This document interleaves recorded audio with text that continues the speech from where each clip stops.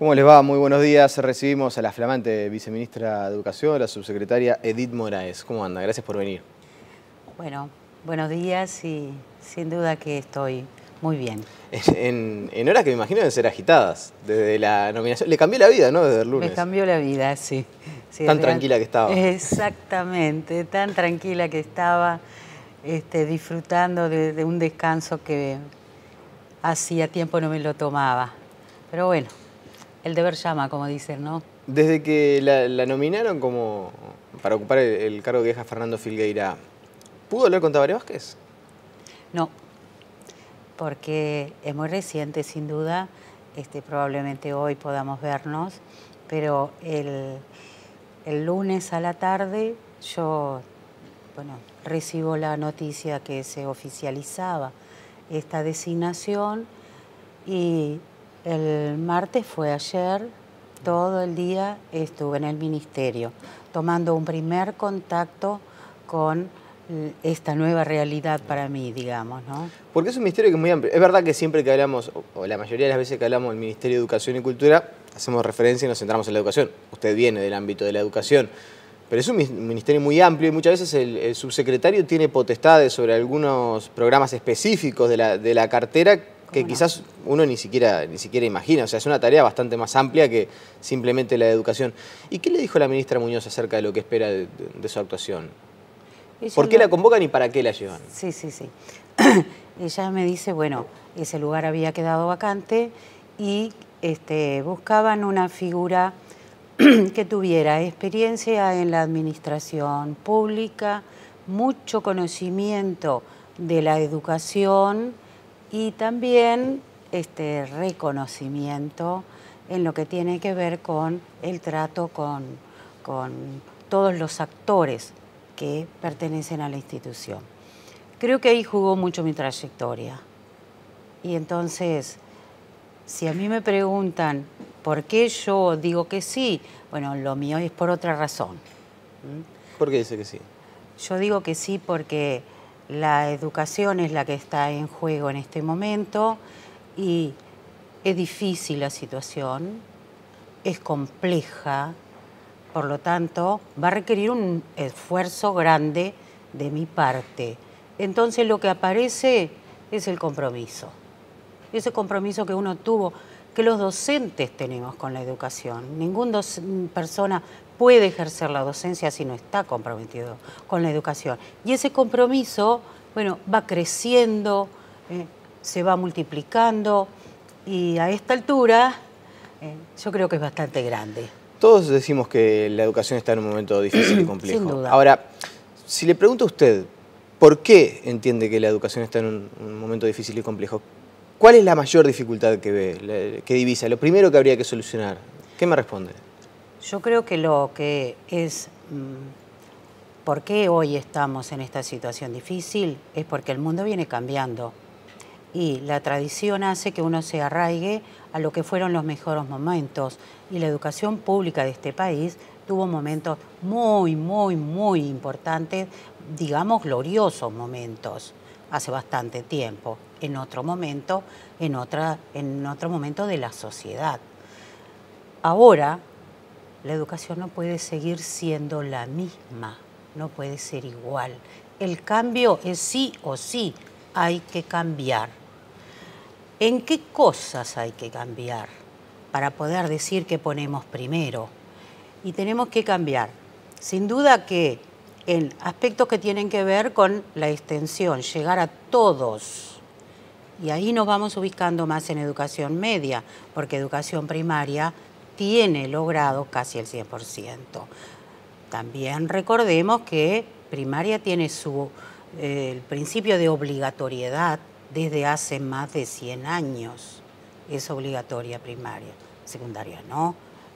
Entonces, educación media eh, empieza a vivir ahora lo que la educación primaria hace mucho tiempo que vivió en todo lo que tiene que ver con la extensión. Pero no es solo la extensión, es qué es lo que tienen que aprender qué es lo que tienen que aprender los niños y los jóvenes para poder ser ciudadanos activos de este siglo XXI. O sea que desde su visión, la educación de nuestro país, entre otras cosas, por ejemplo, tiene como principal problema que está desactualizada. sin duda que eh, podríamos este, ponerle ese, ese nombre, sí, ¿no? Decir, hay que actualizarla. Y, pero actualizar este, también implica saber qué cosas, ¿no? Por eso uno se pone a pensar en que, que hay que cambiar, hay que cambiar el formato, hay que cambiar los planes de estudio, hay que cambiar el currículo, vamos a decir. Y yo creo que de todo eso, todas esas cosas no, están separadas. Entonces, los cambios tienen que ser buscando esto desde un enfoque más sistémico, que los elementos que componen la estructura sean los que modifican toda la estructura. Le, le, pido comprensión para la pregunta en este sentido. Yo sé que usted me va a decir, bueno, no es tan así, pero para que la gente entienda, a, grandes rasgos, eh, en la educación han aparecido en estas últimas semanas, estos últimos meses, como un enfrentamiento entre dos grandes visiones. Los que entienden que la reforma y el cambio tiene que llegar desde el sistema político, desde el Ministerio de Educación y Cultura, y de esa manera, impulsado desde el sistema político, adaptando los organismos de conducción de la educación, y quienes tienen la visión que en realidad los cambios de la educación tienen que venir por parte de la autonomía del CODICEN y desde dentro de la, educación. Y más o menos en eso se ha generado alguna, algún enfrentamiento, sobre todo a nivel de la interna del gobierno. ¿Usted en qué vereda se para? ¿En la vereda que los cambios tienen que ser impulsados del sistema político, del Ministerio de Educación y Cultura? ¿O en la vereda que los cambios tienen que llegar desde adentro del, del CODICEN? Hay responsables del cambio y hay este, organismos que tienen el cometido de definir las políticas educativas y esas políticas tienen que estar definidas en función de un horizonte que implica cambio para llegar a él. Entonces, no deberíamos dicotomizar la situación. ¿Por qué? Porque también está del otro lado qué es lo que se precisa, qué es lo que la sociedad demanda, y entonces acá hay dos partes. Hay que trabajar en los territorios y hay que reconocer que quienes tienen que liderar ese cambio son las autoridades. Entonces, articular y armonizar las dos cosas daría mayores garantías de éxito en lo que se propone. Pero ¿quién debería definir cómo se hace el cambio y cómo se actualiza la educación?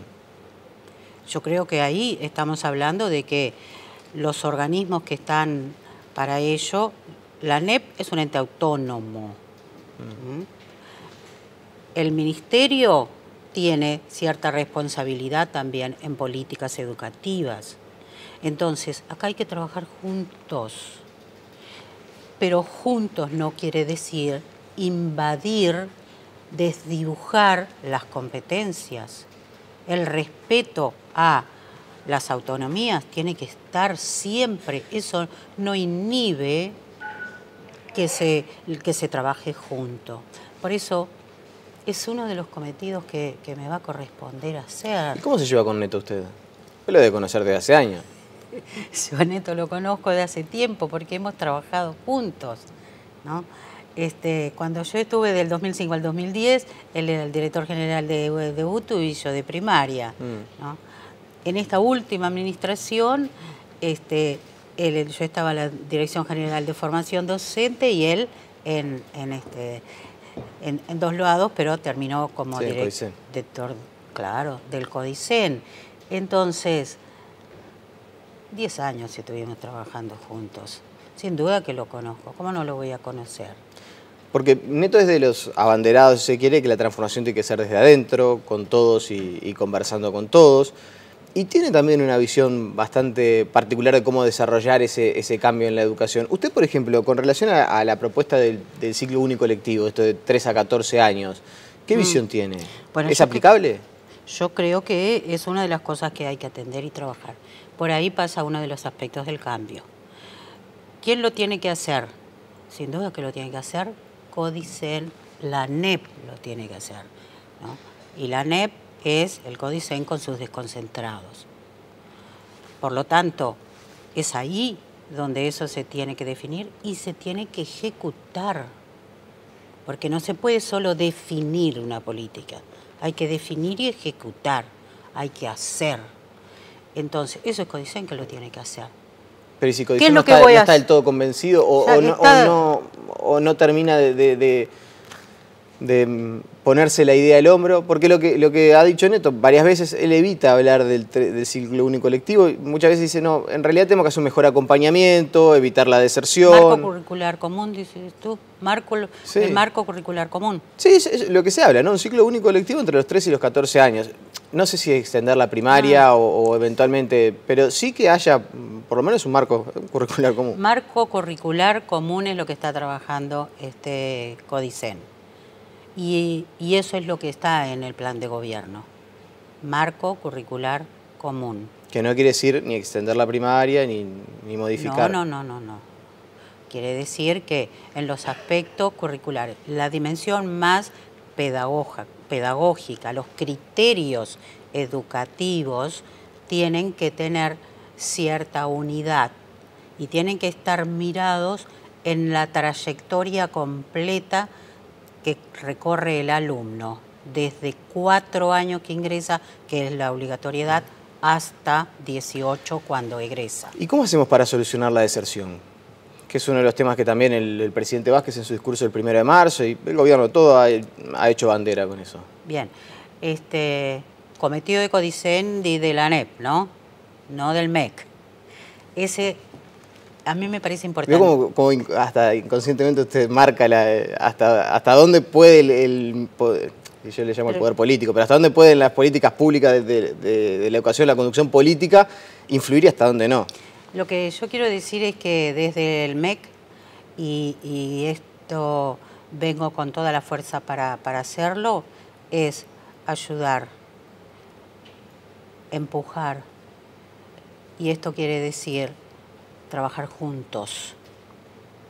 Por eso decía que trabajar juntos no es avasallar la autonomía. Y en esto de trabajar juntos es en qué medida se puede estar desde este lugar con lo que tiene que ver con la dimensión técnica, con, el apoyo al trabajo con los equipos. Es necesario que haya una mirada común y un trabajo común. Esto es lo que podemos expresarlo como, como diciendo, cuando las organizaciones se, se, ponen a trabajar juntas es cuando generan la sinergia. Pero ¿desde dónde se trabaja juntos? Desde la complementariedad. Un organismo se complementa con el otro. Y para eso nosotros Ahora tengo que decir nosotros con el MEC, me cuesta un poco porque me pasé toda la vida diciendo nosotros ANEP, pero este, nosotros desde el MEC tenemos que conocer cuál es el plan que va a llevar a cabo en este quinquenio la ANEP.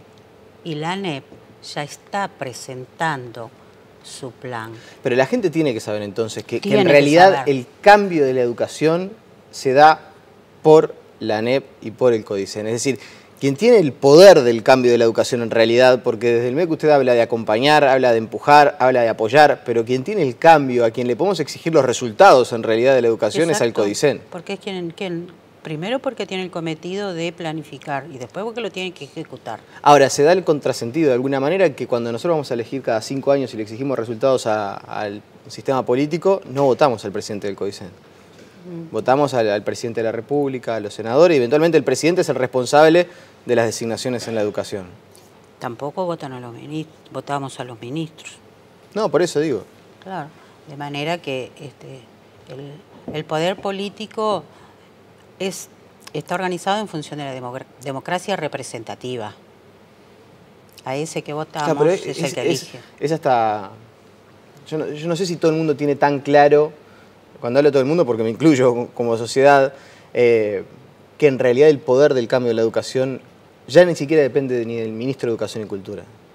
Que el poder del cambio está en el CODICEN, está en la NEP, está en, los organismos de, dirección. Yo le quiero decir que cambiar no es fácil, porque este, hay un como un núcleo duro que tiene que ver con lo que se fue consolidando este, durante muchísimos años He, he, estado hablando de más de 100 años de sistema educativo y por lo tanto eso cuesta cambiar. Hay que ser, por un lado, creativo y hay que liderar los cambios. Entonces, creo que cuando digo liderar, estoy, estoy refiriéndome a que hay que convencer. El cambio, ¿dónde va a ocurrir? Adentro de cada uno de los centros. No podemos no trabajar con el territorio también. Me quedan muy pocos minutos y hay algunas cuestiones que no quiero dejar de preguntarles. Ayer leí una columna de Pablo da Silveira donde no criticaba abiertamente su designación, pero decía que usted viene de formación docente y que formación docente ha sido uno de los lugares donde el Frente Amplio ha obtenido peores resultados. ¿Le molestan estas críticas? Eh, que muchas veces incluso habla de, por ejemplo, que Filgueira era un universitario internacional. Usted tiene su formación universitaria también, por cierto, pero eh, como que de alguna manera se, depositaba más esperanza por la formación de, Filgueira que, en, su actuación. Yo quiero decir dos cosas. Primero, este, voy a decir de Filgueira y después de Pablo de, Filgueira que estoy trabajando con él, porque hay una transición que va a llevar dos días o tres por lo menos. Ayer estuvimos todo el día trabajando juntos este, y sin duda que el, respeto profesional y el respeto a la persona se da sin ningún inconveniente. Él está mostrándome y, entregándome todos los documentos que ya tiene elaborados. Con respecto a si me molesta lo que este, el artículo de Pablo da Silveira, creo que en primer lugar es muy bueno que la gente hable, opine, y Pablo de Silveira hace tiempo y es palabra autorizada en, educación. Este, puedo no compartir lo que él está diciendo. Y, si, y, y entonces no me molesta en el sentido de que es bueno. Yo ahora que estaba fuera de la NEP, decía, voy a aprovechar todo este tiempo que estaba fuera de la ANEP este, para mirarla de afuera. Porque como yo estuve tanto adentro, de adentro no se ve lo mismo que de afuera. Y a mí me gusta escuchar a aquellos que con compromiso también hablan de cómo se ve de afuera. Y sirve. No quiere decir que lo esté compartiendo, yo creo que este, se verá, lo que él dice se verá con el tiempo, si realmente él tenía razón o no. Aquí hay que ponerse a trabajar, yo creo que hay que empezar a hacer. En empezar a hacer, y créame que me quedan dos minutos. Eh, usted habló de jerarquizar la, carrera docente, de, jerarquizar el rol de los docentes. ¿Cómo, se hace? Es fundamental jerarquizar el rol de los docentes y se hace trabajando con ellos. Trabajando con ellos desde el lugar del profesional, él considerarlo, ponerlo en el lugar del profesional para que él se asuma como un profesional. Acá tenemos que trabajar con. ¿Hay que darle, por ejemplo, el reconocimiento de título universitario a los profesores recibidos? Bueno, yo eso sin duda que lo quiero, sí, sin duda lo dice la ley y eso hay que seguir en ese camino y en esa dirección. Pero eso es la formación inicial. ¿no? Yo estoy hablando ahora de que además de eso que todavía no se logró y hay que lograrlo, se jerarquiza al docente instrumentándolo para que él pueda resolver las situaciones nuevas, estos nuevos desafíos que tiene la educación. Puede estar muy desinstrumentado. Entonces, formación continua y carrera docente. Son dos cosas que hay que trabajar intensamente. Edith Moraes, a cuenta de más. Seguramente la estaremos recibiendo en, algunas semanas, en algunos meses para, seguir conversando, porque me quedaron varios asuntos por desarrollar. Con mucho gusto porque hay que dialogar y ustedes pueden hacerlo con toda la población. Le agradecemos su presencia esta mañana aquí en Telebuen La pausa y seguimos con muchas más noticias.